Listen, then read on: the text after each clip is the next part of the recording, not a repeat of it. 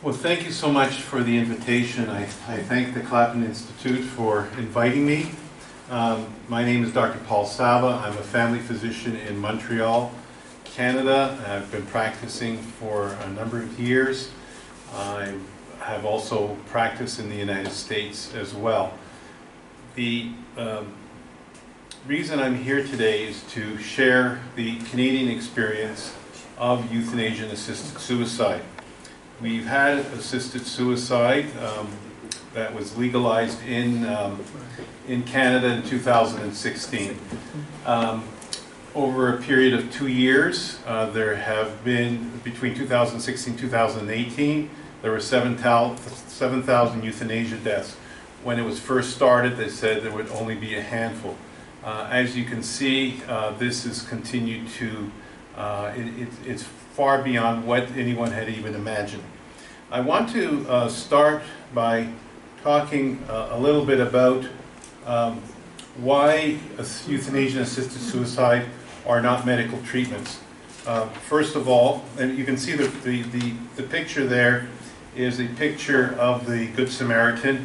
Um, yeah, the story is in the Gospel of Luke, and it describes how a Samaritan stopped on the roadside to take care of a person who was half dead and uh, did first aid, took him to an inn, and continued the treatment. Why is that relevant?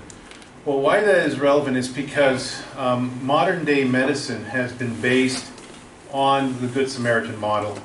Um, it's, um, you know, we, we've moved to a more secular society, but the groundwork and, the, and really the foundation of modern medicine is to take care of those who can't take care of themselves.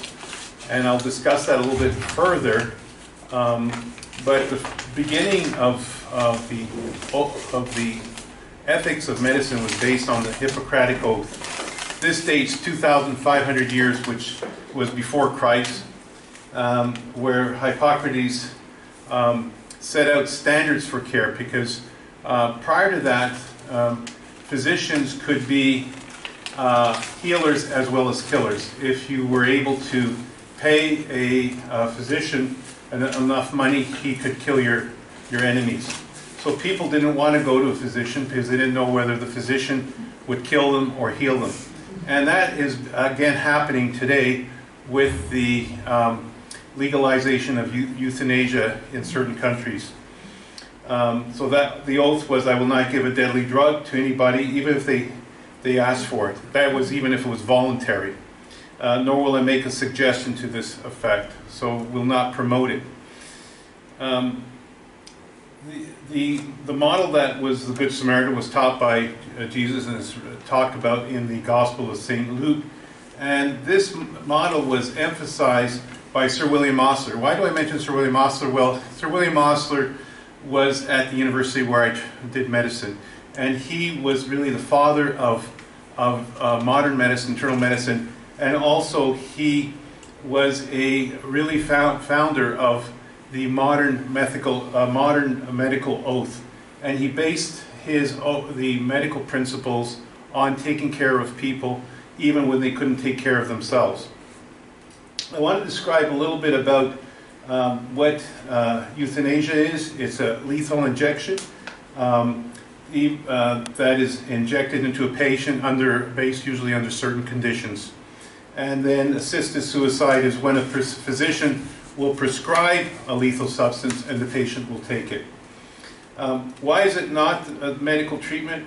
Well, first of all, uh, as I mentioned, um, it is not part of the, um, it is not part of the, uh, found, it, it, it is not something that a physician uh, is supposed to do. It is it's, it's, contrary to our, to our ethic. And I will uh, tell you what happened recently in the World Medical Association because I just came from there. Um, it makes the doctor who's the healer to become the executioner. And the other thing is people will say, and I've often heard the arguments, well, it's just one extra thing we can give people, an extra choice. And I will, I'll explain to you why that extra choice is really not a real choice. And it is not part of palliative care. Um, as a physician, my, uh, my oath commits me to care, to cure sometimes, alleviate suffering, always. which is was part of palliative care, but not killing. And this is my commitment as a physician. Um, what has happened in, in, in the province of Quebec and in other provinces, um, although physicians are not obligated to euthanize, we're obligated to refer. And a referral is like writing a prescription, prescription and knowing that the person will be killed, because we're referring them to somebody else who's going to kill them. Um, the Nuremberg principles followed the Second World War, and it laid out clearly that referral is equivalent to participating in euthanasia and makes one guilty as one who commits euthanasia. And that's been the foundational of, of the Nuremberg principles after the Second World War because of the uh, horrible things that doctors did after, uh, during the Second World War. Some people falsely believe um, that if you don't sign up for euthanasia-assisted suicide, it won't affect you or your families. They say it's voluntary and you have to sign. Well, we have stories where it does affect people because it affects families. And Tom Mortier, uh, some of you may know, um, is a, a, professor in Holland, sorry, in, in Belgium, and his mother was euthanized for depression. He was called the day after. Um, he was somebody who didn't bother him. He's, uh, uh, he, he is a, uh, he's described himself to me as an agnostic. I had him speak in Montreal. Uh, he said he never imagined uh, he would have to live to the horrors of having lost his mother and their, the, his children, which are the grandchildren of this woman, all because she was depressed and the doctors uh, decided to euthanize her. In, they weren't able to uh, convince, um, stop her from doing it because they weren't informed of it. Because once a person makes a decision to be euthanized, uh, there's, a, there's, a period, there's, a, whole idea of, of confidentiality.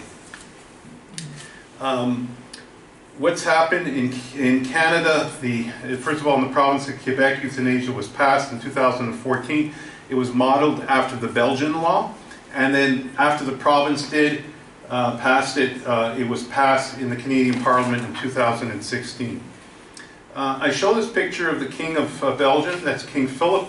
Um, uh, it, what happened in Belgium was they started off with just uh, adults, and, and, I'll be showing you later how they've extended it, but they extended it to children in 2014. Prior to them extending, of course, our family, we often have discussions. Um, I feel it's, it's appropriate, of course, in terms that are uh, child appropriate. Um, they're wondering what's happening, and I explained to uh, uh, my daughter says, well, um, what can we do to stop euthanasia of, of uh, the children in, uh, in Belgium? And I said, well, honey, you can write a letter. And she was, uh, at that time, um, 2014, she was about four years old, and she and I, she said, well, Daddy, but I can't write. And I said, well, in that case, we'll do a video. So we did do a video. And at the end of this uh, presentation, if we have time, I'll show you. Why, do, why is that important? Um, and by the way, this is a painting that Jessica did. Uh, one day I asked her, I said, honey, draw a picture of her family, trying to get her off the computer uh, because I felt she spent too much time on the computer. Well, she went to the computer and she painted this drawing. And um, uh, she was, um, just a, very brief story, when she was 20 weeks and 24, we were advised to abort her because of her heart condition and the suspected Down's uh, syndrome. Uh, we refused. Um, but anyway, she made this drawing, and I thought the title was Made to Live, and she made Jessica in very large red letters. And I really think that's the message that I want to get across, that each of us, regardless of our age, is made to live and is valuable uh, and again, this idea of, of being of value was uh, upheld by the World Medical Association, where I just came back from the conference, that, um, that every human life is valuable. Some people will um, contradict that. I've heard lots of different things. I don't think uh, we have a little dog, uh, uh, and I value the little dog, and when the dog ate a grape, um, uh, there was a question of, you know, what do we do to save the dog's life? And I was kind of questioning it because of the cost that they presented to me at, at our veterinarian hospital. But my daughter said to me, Daddy, you're fighting against euthanasia for adults. You're going to let our little dog die. So I said, despite the cost, no. Uh, so every every every creature is God's creature and is valuable. So I want you to know that. Okay. Um, and this is, uh, this is a video that I will show at the end uh, if we have time. Um, what, is, what happened um, uh, when the law was passed, there was also a, um, uh, a report that was to be submitted uh, in December of 2018, and the report was to study the possibility of extending euthanasia to uh, people with mental health problems, to children, and those who have cognitive uh, impairment. And although they did not make any recommendations, uh, they in the report they said, uh, regards to childhood euthanasia, we want to ensure that children are not ignored or excluded. So anyway, in, if I can translate that to you, it means that we need to consider including children. And when I was in school, if we used double negatives, uh, you, you failed in, in, in your writing. But it seems appropriate today for politicians to write like that. Uh, the story of why, how do people, you ask, and I often ask, how uh, can we justify euthanasia of human beings? Well, um, the certain ethicists, and I've often heard people say, well, the ethicists uh, say it's okay. And I say, well, what, is, what are the ethicists? Well, they call them bioethicists. And the bioethicists have a certain um, thinking of what we call the utilitarian model of human life. That means if you're productive and useful to society, you should live. They often will use the terms like quality of life. But if you're if you don't have quality, uh, then uh, you're not useful. Then you may be better off dead. And this has this concept has been explored by Tom Koch, a Canadian bioethicist, and he describes it like the idea of the number of lifeboats on the Titanic. There's only so many lifeboats and only so many resources, and only the strongest who get on the lifeboats should survive. And um, this is contrary to the um, Hippocratic and the Judeo Christian uh, model, uh, Good Samaritan model uh, of, of, of medicine. This is very contrary because the idea of, of, of the Good Samaritan is even the person who was left half dead uh, is worthy to be saved. Um, in, there's, the, the, next few slides will talk about what I call marketing death. Um, marketing death is a, a, way of making it look good to euthanize your, your, your fellow uh, human being. And terms that are often used are dying with dignity, medical aid in dying, um, to make it sound uh, okay, you want to you want to co-opt doctors. So if the doctor kills you, then it's okay because it's a medical treatment, and I've explained to you it's not. They'll use questions and polling uh, describing: uh, Do you approve euthanasia, or a suicide if a person is 99 years old and has metastatic cancer and only a few days to live? And you go, well, you know, maybe it's only a, it's a day or two. Of course, this is part of the marketing, and then you, as I'll show you, it's extended to children and those who are not even dying they will say, well, the person wants to die. Well, you know, um, even Hippocrates says, you know, even if the person wants it, you don't, you don't kill them. Uh, and you often hear about people with double suicides. Well, you know, they, they ask to, to be killed. Uh, we don't accept it in our society. I'm sure not in Swedish society. Um, it, if it's legal, it must be okay. So, of course, you want to legalize it.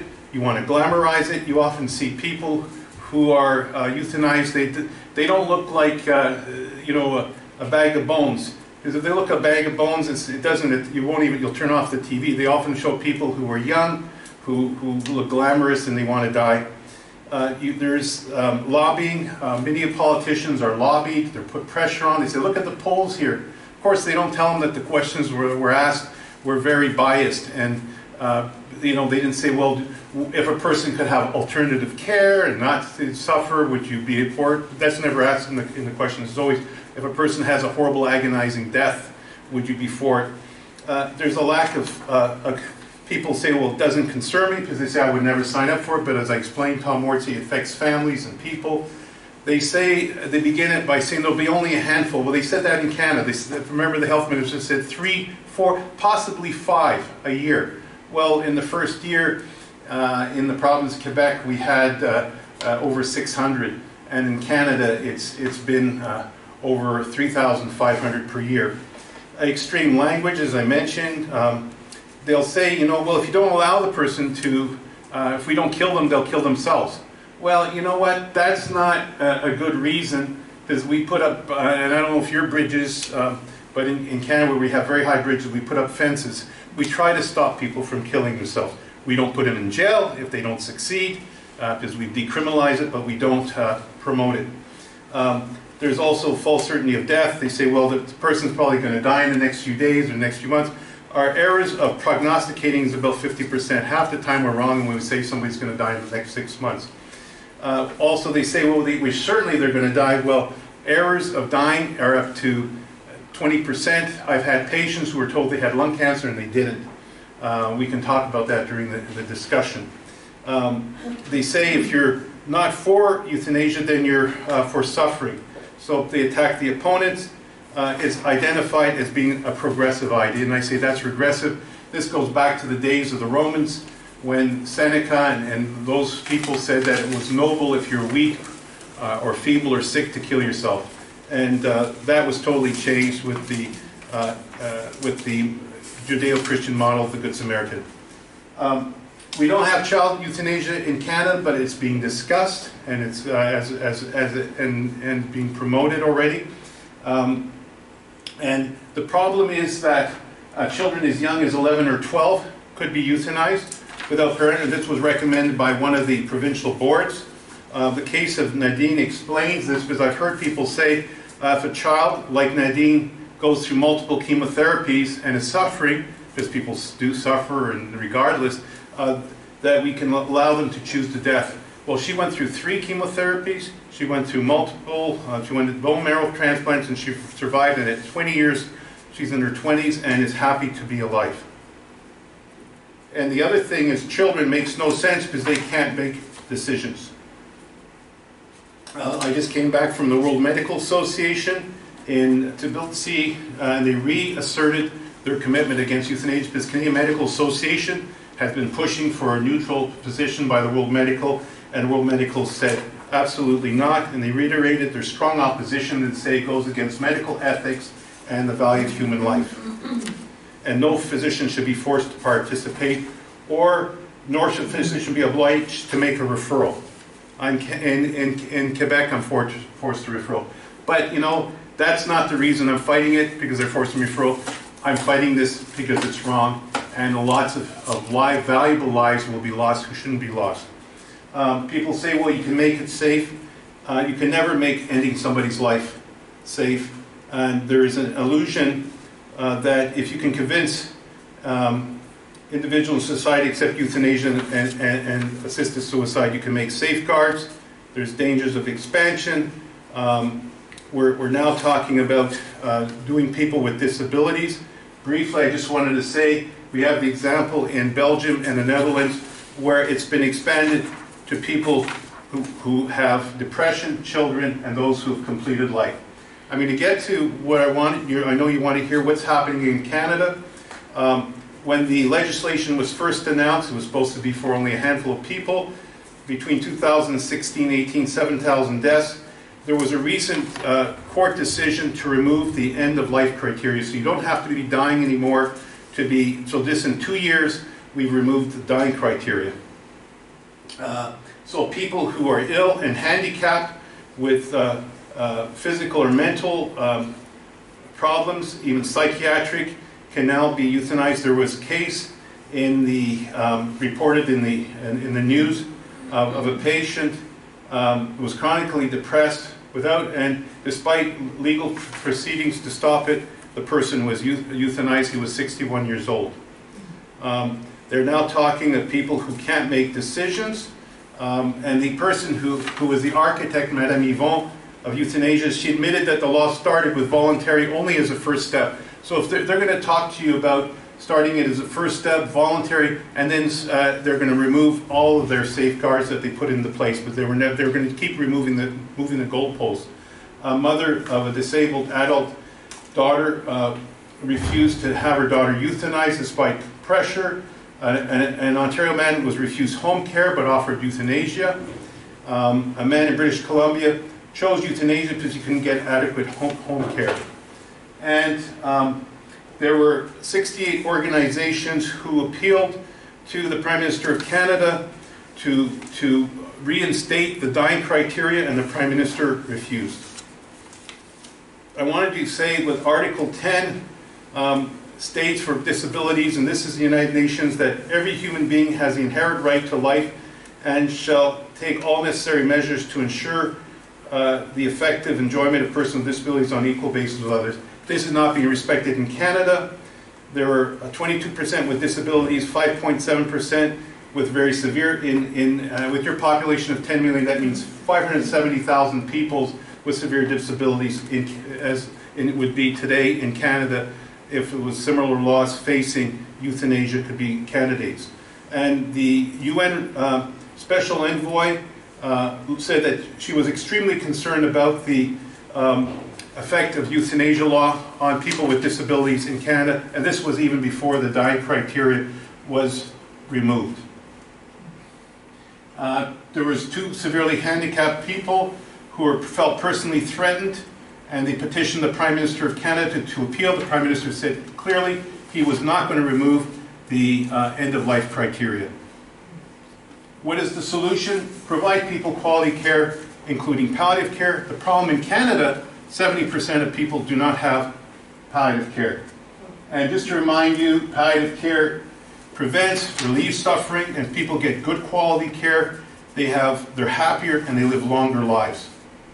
Um, the classic study in the New England Journal uh, showed that people, even with cancer, live three months longer when they had quality palliative care. So it's not just treating the pain, but giving them support and love and everything else that comes with it, including financial support. Con the conclusion, euthanasia is not the solution for people who are at the end of life, who are facing disabilities or distress. They need to be cared for, not killed. Once you uh, open up the doors and you start with the very few cases that they talk about with people with terminal, it will go expand to people who are depressed, and people with disabilities. Real care is medical care and supports. Um, you must exclude euthanasia and assisted suicide as a form of end-of-life care.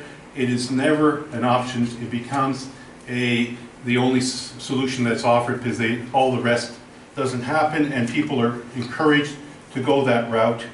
Um, so in countries like Canada, I'm fighting and hope to see that that law is dropped and, and reverse. The problem is once a society engages in it, they don't want to admit they made a mistake. It's pretty much like, you know, cigarettes companies were working with the governments, doctors were encouraging it, even though people were dying.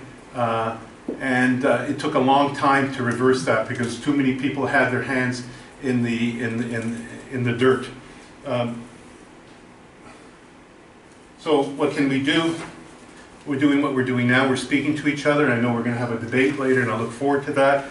Uh, we need to invite speakers, as you are doing. You can go to our website, coalitionnd.org. You can go also, there's a website on a handout I gave which gives the experiences in Canada, and um, that's the Physicians Alliance Against Euthanasia.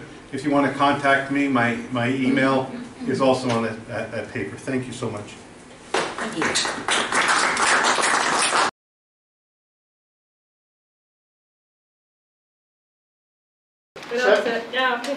So we have heard a few general things and a few things that are specific to Canada. So you are here as a Norwegian representative from the Norwegian, Nordic Council and one Swedish representative in Parliament. So if you just summarize, how do you experience the discussion in your nation generally on this issue and the legislation, and if you have any particular reactions on the lecture? If you begin, Freddy. Yes, uh, sure. Um, yes, my name is uh, Freddy from uh, from Norway. Uh, thank you for, for the invitation. This is a really interesting topic. Um, I'd just like to start by saying in uh, my party, which I represent, uh, there's like mostly been an, a thought that euthanasia is not something we want in Norway. but it's also seen as a question of conscience, so that our representatives quite often have been uh, quote free uh, to vote in parliament uh, as they want from their like personal uh, perspectives. But but I'm against it, and most of my parties. Um, and that I think also sums up the Norwegian situation. I think um, because in Norway there hasn't really been that much of a push for euthanasia. Um, there hasn't. Uh, there has been. There's only two political parties in Norway among our. Well, now it's. Oh, now it's uh, ten in parliament, uh, but so. So only two of the ten parties are pro euthanasia. So it's the far right progressive party, and then there's the, the centrist liberal party. Those two are the only ones. Uh, the rest of the parties are uh, either loudly against or they don't uh, they don't say that they want it, and then it, that mostly means no. Uh, I think um, so. There there's some waves from now and then if there's some particular cases. Um, there's sometimes uh, in the news uh, people talk about these people that travel from Norway to Switzerland or other places. And this, I think, gives a sort of a small rise in uh, the support for euthanasia because these faiths are uh, tragic. Uh, but still, it sort of blows over, uh, and then uh, it's pretty much stands where it has been standing the last well several years. Yeah. Yeah. And what's your opinion of how do you experience the situation in Sweden? Uh, there's no party that's pushing for, either um, how you say? Euthanasia. euthanasia or uh, assisted suicide uh, right now. I think the the Green Party had opened up for some um, more um, State uh, investigation, Yes, yeah, some i- investigation, but not, but they are not really pushing for legislation right now. Mm. Uh, then I think there are some discussions within the parties. Uh, I think there were some discussions now at the moderate uh, um, when they had their- um, annual meeting, and there's always when we have our uh, big meeting, the um, there used to be some of the members pushing for for it, but they always used to. There always been a majority for still be against. Mm. Uh, but there are, I mean, I think in many parties there are some people pushing for it, but uh, but it's um, but the arguments against are still very strong. And uh, I also want to say I'm in the um, uh, one positive thing is uh, that I'm sitting in the, I've been in the board for the Swedish Church, and we had a gathering with um, science with a doctor. He's working with cancer patients uh, with palliative Mm. uh, care, and he had a very, very, very good um, uh, speak there and very good uh, facts. And uh, what, and, and there, as, uh, at that moment, we made a statement. There were all the bishops from all the Sweden, from all the all, all the Sweden, and uh, all the political uh, groups within the church. And we were all there was just total agreement that the Swedish church should stand against um, um, uh, death. Uh, so, so um, uh, I think that was very positive. And also, we made a statement that even if we, it will be a, a change in the government, the Swedish church will still be very critical. So that's uh, put in paper, and, and I think it's very good report from the Swedish church about this. Right. I have many things to criticize the Swedish church for, but this is very good, I think, and I hope they will be strong uh, in this. So, that, so um, uh, that was a good, uh, good meeting, and, and I think that was the first time we actually, me and social people from Social Democrats, we really agreed and said that we must stand against Yes. this because there were the Christian people within all the parties. Uh, and when we compare to Canada, I mean, Canada and the Nordic nations, we are pretty similar in, in several ways. Are there any particular things uh, from the experiences from Canada that you thought that we can learn from? I think the, that's also one of the main arguments on, on my on my behalf uh, is that when you first open uh, up for it, you have this idea that this is only a very, very handful of people, exactly like you told from the Canadian debate, um, and that you, you put up these, these safeguards against, for instance, minors, uh, uh, people with, uh, with mental illnesses, and so forth.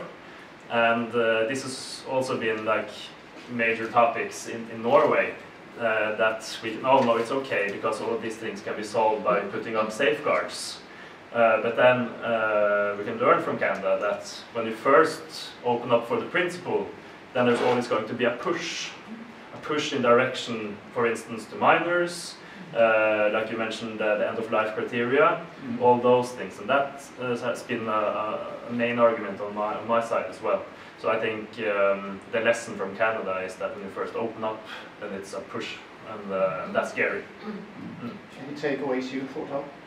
Yeah, I also think that's um, it's very scary how it can open up and how, how people can push for um, go further. And uh, I also I also connect this of um, this um, uh, the, some others I heard about um, about this that said that in for example in the the Netherlands uh, it could be an argument that you have some ear problems or problem with sight or even uh, psychiatric problems. And and especially when it when you can when it broadens to psychiatric problems that worries me a lot because I worked before I became a politician I worked in, in uh, with uh, depressed people and I could see how they really really wish to die and uh, I also had a very uh, I was also very in depression when I was a teenager, and, and I, I know that the th- thoughts can come that you just want to fly away, you just want to die because it's so hurtful, and, and it's so. But I have also seen how people can change and how, how we can help them, and, and how they can come back to life and they want to live again.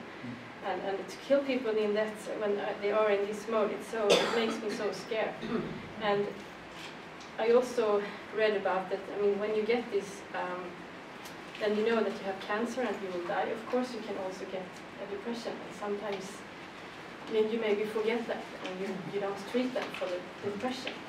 And, and this doctor I listened to that worked with cancer patients, he said that when we treated them for depression, they maybe they start and we gave them all the treatment for the pain. Mm-hmm. They could start to see maybe I should use this last half year to be with my children, my grandchildren, and make the best of it. And, and so some patients that first wanted to die, they changed their view. And if we just kill them in that moment, it's so, mm-hmm. It makes me really worried and really sad. You want to add something? Yes, and I think uh, you're into to one of the I think most most critical points because uh, how can we possibly uh, in a uh, really really sure way say that this is a physical illness and this is a psychiatric a psychiatric issue? That you know in the real world of, of medical science that's not easy. Uh, because one thing comes with another, and uh, both affects each other. Actually, uh, we know now. Uh, so I think uh, because in an ideal world, I think many Norwegians would uh, support uh, uh, euthanasia if it was actually possible to make perfect safeguards, and then you can just you know focus on just these handful of people. But that's not possible, and I think just because of that, because uh, physical uh, illnesses and uh, mental illnesses are also connected. This was sort of a, a main argument, I think, uh, to, to say we can't do this because it, it's all connected. And I get the impression sometimes that people tend to address these uh, issues differently. If you are a g- general population, if you're a politician, if you're a professional, is that your impression as, as well? Dr. The- I, I think the politicians are put under lots of pressure uh, because they're polls, um, because I've even, you know, done polls to look on certain things. Um, And uh, not on this subject, uh, and I probably will one of these days. But uh, the, the, polls are, are financed by groups that are promoting uh, uh, euthanasia, assisted suicide, so they are able to, to uh, make the questions so that people will say, yes, you know, if you were to ask me, if there was no alternative but euthanasia to relieve your suffering, would you, would you, no, they say, would you want medical aid in dying? They don't use the word euthanasia. uh, if you were at the end and having a horrible agony, that most people say, well, yeah, I'd like to have a doctor helping me. They did a study uh, for the Canadian Medical Association, just to give you an example, and they asked doctors, uh, are you for uh, medical aid in dying? And they said, uh, 60% said no, 40% said yes. But when they asked those doctors who said yes, what did you mean by, it? they thought it was palliative care, and it wasn't. And so the Canadian Medical Association went neutral because they had in their mind that they wanted euthanasia, even though the majority of doctors were, probably 70% were opposed. Uh, and then when they went neutral, the, the Canadian Supreme Court uh, said, well, the doctors are neutral, that means they're not against it. So that's why it, it, it passed in Canada. And, um, and then, like you said, what they'll do is they will find a case, uh, somebody in a wheelchair who wants to go to Switzerland to die. And when you really investigate what that, what the situation, often these people don't have, they're, they're being pushed by their family, they're being pushed by an organization. Our law is actually based on somebody, her name's uh, Lee Carter, who died in Switzerland, and she had a, a form of arthritis. Uh, she walked into the clinic, but she was concerned one day I may not be able to walk. And because that one day she may not be able to walk, uh, she took the assisted uh, suicide. So our law was based in case that one day. And my argument has always been, let's give people the support they need. Now, there's going to be a, a, a number of people who are going to, no matter what you say, they say, I want, I want, I want death, I want death. I had one patient come in my office the other day, and I was having coffee, was very happy, enjoying my day, and he walked in, he says, Dr. Saba, I disagree with you, uh, I, I'm for death. And I said, but I mean, there's nothing wrong with you, why would you be for death? I'm just for death. And I says, okay, uh, but you know, if you come to me, I'm going to do everything to make sure you don't die. I can't guarantee it. And as doctors, we can't guarantee that people will not die. But we need to put everything on their side for life. And if really they're at the end, you know, and we never know because I, uh, I, I had a patient who, who uh, came to my office uh, just before the summer. He had a cough, he smoked two packs a day, an engineer, 50 years old. And I said, well, let's just do a chest x-ray just to check, you know, because, uh, you know, I don't, you don't have pneumonia, but I'm not quite sure where you have your cough, could it be a virus, but it's, so we did the chest x-ray and he didn't have any cold symptoms, uh, and it showed a five centimeter mass. And I said, well, I, I called him back. I said, listen, we have a, a result. I want to talk to you about it. I think we need to do some investigations. And I said, we found something. So what is it, doctor? He said, can I see the x-ray? So I hand it to him. He reads it. He says, I've got lung cancer. He says, stop. Tells me like, stop. I says stop what? He says, don't tell me what to do. I don't want any treatment. If I have lung cancer, it's my time. I want euthanasia. I disagree with you, Dr. They No And to make a long story short, he... He did not have, after I, I was able to convince him to undergo studies, he had a scan, he had a, a couple uh, attempts at a biopsy. We found that they had uh, classic Hodgkin's lymphoma, 95% curable. And he called me uh, uh, in the fall, thanked me. He said, it's been cured. I mean, it, you always have to follow it for five years. We never know outcomes. I have many cases like that. People who uh, were told by other doctors that they had very little time to live. And 10, 12 years later, one lady with lung, uh, severe lung emphysema, she was told by one doctor, you don't have long to live. And uh, she's happy. She said, I would have taken euthanasia if it was available uh, uh, 12 years ago. Uh, she's now seen her grandchildren. I was able to get her to, to, to better care. Life is too valuable um, every type of suffering, physical suffering, can be treated with palliative care, despite what people say. That means even going into um, one more story. Uh, we, we don't have time for that okay. now. let's, let's hear what, if we conclude together. I mean, emotions, we all know that emotions are important, but you as politicians, when you, when you meet arguments that are based on, on emotions, we, we would like to help people and euthanasia would be the best way. How do you treat these kinds of arguments? when, when you meet them from the general public? I think it's important uh, also to listen how who is it that wants uh, that have this emotional argument? Is it the people that really have cancer that are suffering, or is it some arguments from some politicians? And one interesting study of this uh, Peter Stein, I think this is a cancer doctor, he said that when he asked patients and made a study, they said, "Oh, I don't want to die. I don't want to have assisted suicide, but maybe someone else wants. So I can, I can before maybe someone else wants to. I can, I can uh, argument for for that because for someone else's sake, but I don't want it." That was the most common answer, and I think we have to think about that. Who for who does really uh, ask for this? And uh, I know that there are some people really, really suffering, and, and we have to have to do as much as we can in science to have pain, uh, to they're not suffering pain and everything. We have to do everything we can for them. But uh, there is a slippery slope uh, way to. So I think. Uh, to, to make this argument, we have to ask who is asking for it and uh, what are the consequences in, in other countries and look at other countries. And how do you handle debates like this? Well, so, uh, the- the- it's, it's really important to, to recognize people's emotions. Uh, if, you, if you don't, then you uh, then you won't seem to take it seriously. So so I recognize uh, those like emotional arguments, but I say that there's there's emotional arguments on the other side as well, uh, and whose emotions are the most important because there are also strong emotional arguments about people feeling pushed because they feel they're like a burden in their family uh, and they feel uh, a push from society. And then there's uh, uh, an inequality in power when there's a really vulnerable individual feeling that push either from society or from family or friends or whatever. They feel like they, they can't contribute, etc. Uh, and I say that that are also uh, important sort of emotional uh, arguments. So so we have to recognize that uh, yeah, emotions are important, but but they don't go one side.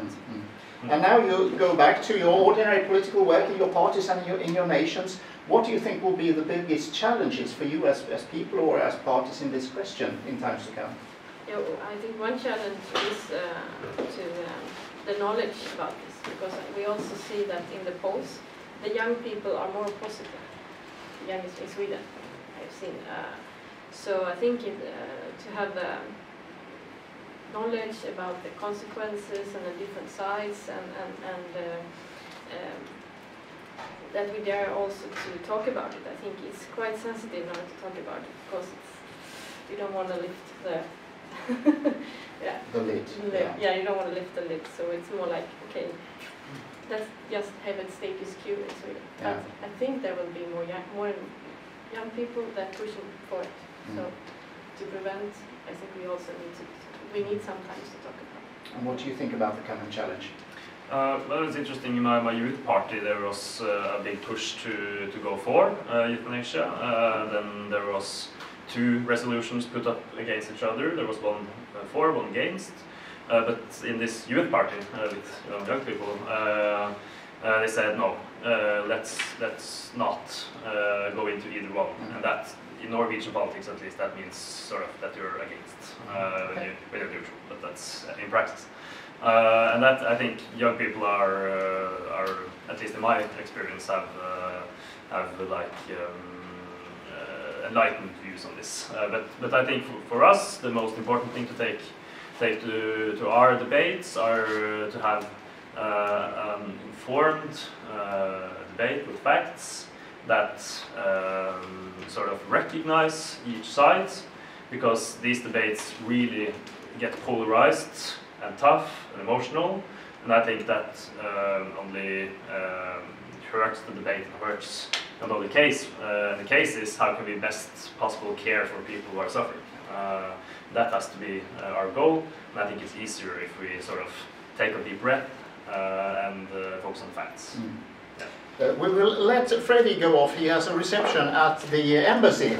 But uh, we don't have large gifts for you. Oh. Uh, we do have some time for questions and answers afterwards for, for Dr. Saba. But we'd like to thank you very much for taking your time to coming and share this and bringing back this to, to your political parties and to your nations as well. So many thanks for coming. Thank you so much. Thank you. Thank you too, sir.